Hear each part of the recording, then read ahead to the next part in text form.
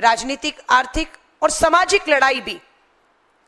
हमारी इन बारह महिला बेटियों में, बहनों में, एक बेटी वो भी है, जिसका नाम विनेश फोगाट है।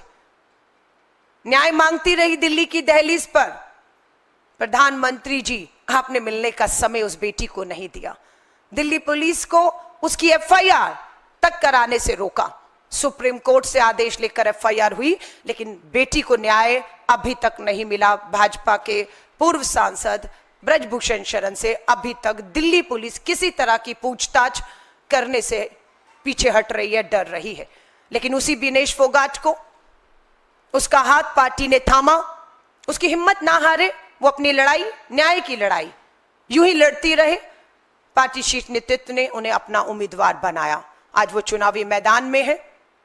उनके लिए श्रीमती प्रियंका गांधी वाड्रा जी भी खुद उनके प्रचार में उतरी और एक संदेश देने की कोशिश पूरे हरियाणा और देश में हुई कि किसी भी बेटी के साथ अन्याय, अत्याचार होगा तो भारतीय राष्ट्रीय कांग्रेस उस आदि आबादी उस महिला के साथ उसे सशक्त करने के लिए, ताकत देने के लिए, न्याय दिलाने के लिए, उसके साथ यूँ ही ताकत बनकर खड़ी रहेगी।